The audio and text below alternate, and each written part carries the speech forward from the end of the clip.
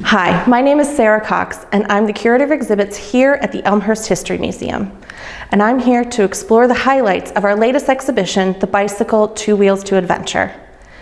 The exhibition explores the way in which the bicycle influenced manufacturing, infrastructure, and also created a newfound form of leisure for the American public. Before the popularity of this 19th century invention, the idea of a human-powered vehicle came much earlier than the 19th century. The first inkling of a human-powered vehicle came from a French mathematician named Francois Ozanam, who put in a patent into a publication recommending a design for a human-powered vehicle.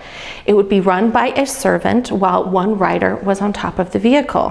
While these early ideas were never put into practical uh, applications, uh, the ideas were freely published and often tried to be patented. And it is not until actually 1817 when we see the first person to actually design and implement the first human-powered vehicle. Baron Karl von Drais of Karlsruhe, Germany, was the first to design and practically build the first bicycle. However, it was not called a bicycle. It was called a Luft machine, also known as a running machine. However, predecessors would later call it the Draisine after its inventor. Now, necessity is the mother of invention. And with this, he was looking for some kind of vehicle other than a horse in order to survey the new lands that he had been put in charge of surveying. So in this, he decided to build a two-wheeled vehicle in which you used your feet to push off the ground and move along the land. The highest speed that this got was up to 12 miles per hour, but on average, it was five to six miles per hour. Now, the public did not take to this as a general form of leisure and excitement. They thought of it more as a curiosity. So the idea of the Draisine soon fizzled out. However, von Drais inspired a generation of engineers, Wainwrights, and musical instrument makers to try and design a more cost-effective and efficient human-powered vehicle.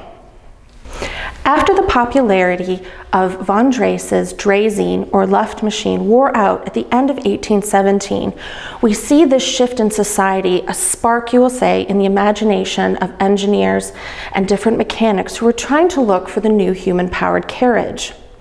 So between 1818 and 1869, we see this huge explosion of people publishing their designs for different vehicles, human-powered vehicles, I should say. Um, and the ones I have featured here on our Wheel of Design is really only a handful of some of the designs that were not only published in local publications, but also put into practical use. Some of these people include um, one of the more popular ones is in 1818 Denis Johnson. His practical use is of the Draisine, in which he changed it to what would be known as the Velocipede. Um, and his nickname for his vehicle was actually the Hobby Horse. He opened schools to try and increase the popularity of the Draisine, or as it was known, the Hobby Horse, um, to get it more uh, popular and in people's minds because they really wanted this to be a practically used vehicle. Um, so his is one of the more popular. Now later on in 1867, we have Pierre Michaux. He comes the closest to designing what we know today as the bicycle. We have an example of one of his velocipedes here in the exhibit, um, generously on loan. Um, he was the first one to put pedals onto the bicycle. However, he put the pedals onto the front wheel and he had designed a crank system. It was still not perfect, but he came the closest to designing what we understand today as the bicycle. It is not until 1870 where we see the popularity of the first bike really not only become important and interesting in Europe, but also in America, particularly on the East Coast. In 1870, an eight, uh, a British athlete uh, decided that instead of riding the typical bicycle that you'd seen before, the velocipede created by Pierre Michaux, instead he was riding what was known as a high wheeler. The high wheel design was created by James Kemp Starley. Who was in Coventry. He was a designer, he was an engineer, and he created this bicycle known as the high wheeler, or as many people call it, the penny farthing. The penny farthing, the nickname, comes from the disparity between the two sizes of two British coins, a penny and a farthing coin. So oftentimes you hear it called a penny farthing bike. Now, this took on to not only become an important thing in sports and racing, but also as part of a leisurely activity. In the exhibit, we have photos of people going along Lake Michigan in Chicago, cycling through Lincoln Park Zoo on their high wheel bikes. Now, the high wheel bike, for its popularity, however, had its own faults. So many people got injured while riding a high wheel bike. If you've ever heard the term taking a header, it came from the invention of the high wheel bike, as the most common injury were people flying over the handlebars and injuring their heads.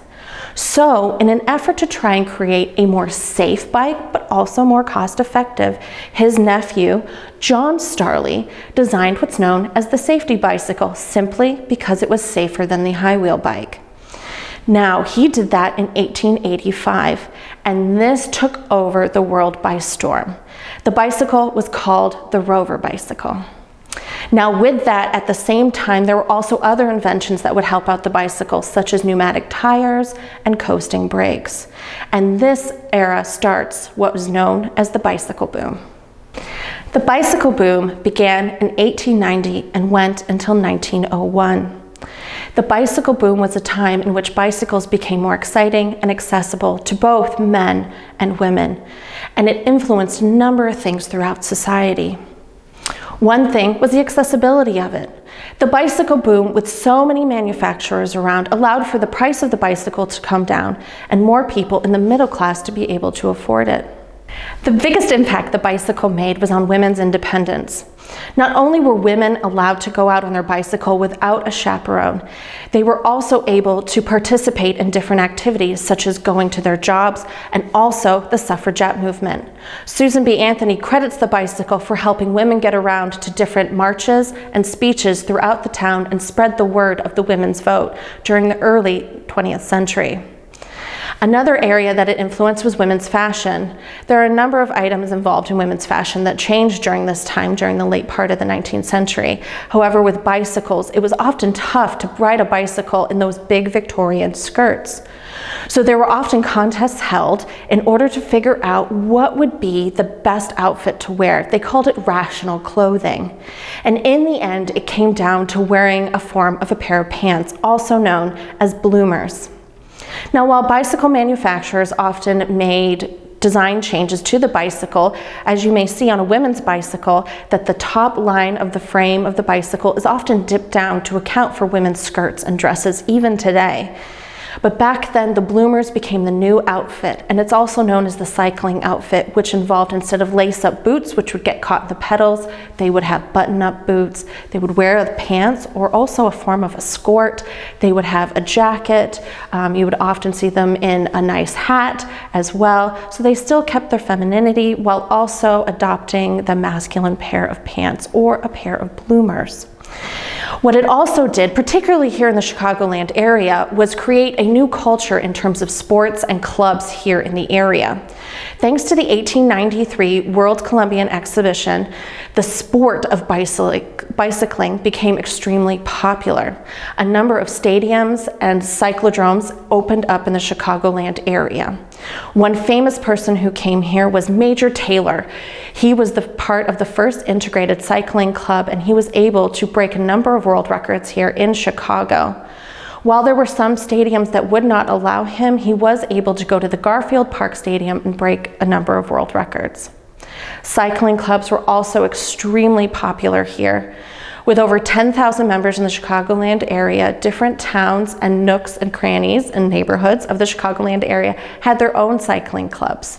They would often have their own houses or places where they would meet, and they would have events where they continued to take their bicycles around the city where they could on the latest paths uh, and adventures across the Chicagoland area.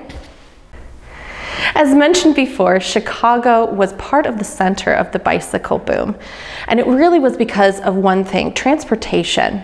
Chicago had a great hub for trains. Its location next to Lake Michigan made it ideal for shipping, so it made bicycles very accessible here in the Chicagoland area.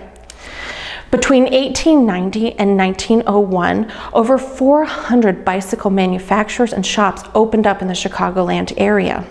With such names as Schwinn Arnold and Company, the Monarch Bicycle Company, Mead Cycling Company, we were able to develop kind of this iconic look to Chicago as the hub for bicycles. We even had a famous street, Lake Street in Chicago, known as Bicycle Row. Now, many of these companies, after the bicycle bust in 1901, would eventually either close up, they would sell off other things, or they'd become something else in manufacturing, other kind of household goods, um, or contributing to the war effort. One company stood out and continued to produce bicycles. That was Arnold Schwinn and Company. We have an example of a later Schwinn bicycle known as the Lemon Crate, along with a famous advertiser who went with it, and that was Captain Kangaroo. We have that example in our exhibit here. Um, but that was kind of the one mainstay. They even were still able to stay in business during both world wars as they helped the war effort from home on the home front.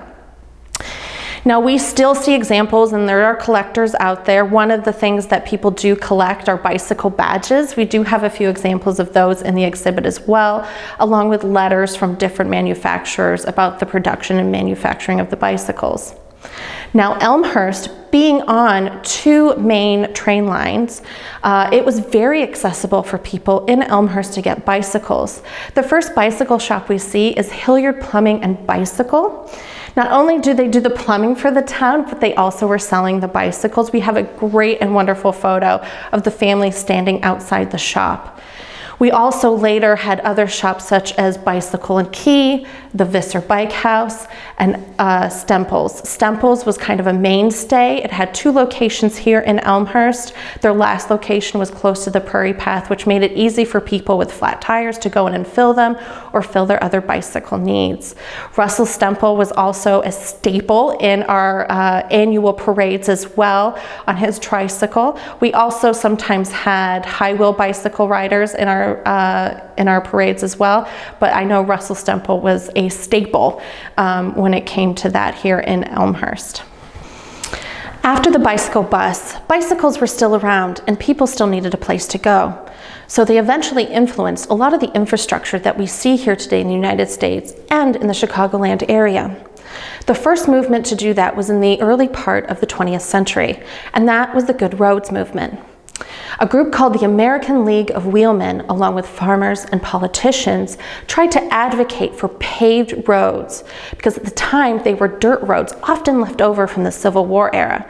So people were looking for safe places to be able to ride their vehicles, move farm equipment, and eventually the new thing, the vehicle, on roads without them getting stuck, people getting injured and hurt. The Good Roads movement is important because it also influences our next movement, which is the Rails to Trails. Now, while they were looking for roads for people to drive their cars and move farm equipment, we were also looking for our own paths for bicycles.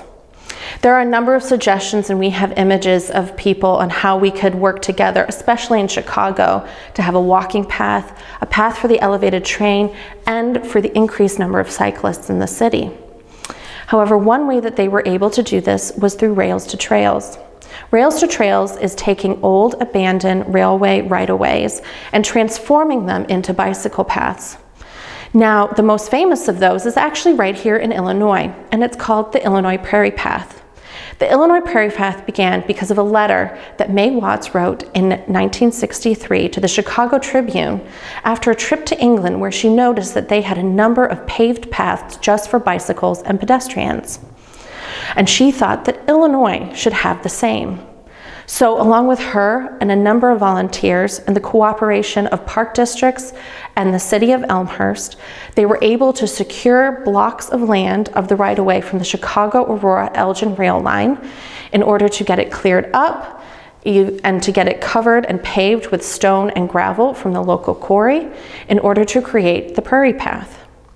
Now, the Prairie Path began as 23 miles of uh, traveling for pedestrians, uh, horseback riding, uh, and bicycles. However, today the bicycle, uh, the Illinois Prairie Path, is over 60 miles long. The Prairie Path runs from Maywood to Wheaton. That's the main stem. But today they also have spurs, which were built additionally in the later 1970s. Those would be the Elgin Spur, the Geneva Spur, the Batavia Spur, and the Aurora Spur. Each of these all connecting to the main stem of the Illinois Prairie Path. Today, the Illinois Prairie Path is traveled by many cyclists, including us, who currently have our mini exhibit about bicycle fun facts up until September 5th. Our local artist, Vincent Letestu, illustrated our little J. Hart Rosdail, and throughout the exhibition, he'll be sharing fun facts about bicycles and about himself later on in the exhibition. J. Hart Rosdail is an important figure here in Elmhurst, as he not only influenced the creation of this exhibition, but also he was the world's most traveled man. He was even featured in the Guinness Book of World Records. J. Hart Rosdail, on his bicycle, traveled hundreds of thousands of miles around the world, visiting 222 of the 226 recognized countries between 1937 and 1977. While he didn't take his bicycle, Jacqueline, who is named after an ex-girlfriend, with him on many of these trips, especially later on when air travel became more accessible to him he still was able to go to amazing places in Europe, Australia, New Zealand, and Asia on his bicycle. He even tried to climb the Alps with his bicycle Jacqueline, and we have a photo of that in our exhibition. Now you can learn more about J. Hart Rosdail in our next talk on August 13th with our Curator of Collections, Dan Lund. Even today, bicycles still make an impact on society. In one way, starting in the 1970s, when gas prices were extremely high, now mind you, they thought extremely high was $2, um, they wanted to find a more economical way of transportation. Well, they had one right at their hands. It was bicycles. And a large number of campaigns during this time were trying to advocate for the use of bicycles over people's cars. A study done by the University of Oxford said that if you just substitute one of your trips for the day with a bicycle instead of a car, you save up to 67% of the normal emissions that you would let out into the atmosphere. Now, while the car still dominates as the top form of transportation, not only here in the United States, but around the world, there are still many ways in which you can contribute to going green with your bicycle, and we feature a number of those suggestions here in our exhibit. Now, as discussed earlier, J. Hart Rosdail was just one of the many citizens here in the town of Elmhurst that owned a bicycle. We even have evidence as early as 1905 of students taking their new safety bicycles to school on the paved sidewalks here in Elmhurst. Now, Elmhurst was inspired by the popularity of bicycles to create a number of clubs that are still operating today. We have a branch of the Illinois Prairie Path here. We also have the Elmhurst Bicycle Club, the DuPage Cycling Foundation. We also have Ride Illinois, which works with our local bicycling, bicycling groups.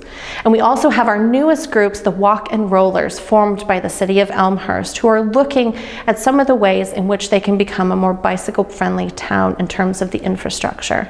We even have featured our proclamation of official Elmhurst Bicycle Month for the month of May. Now, with every exhibition, we always have a call to action.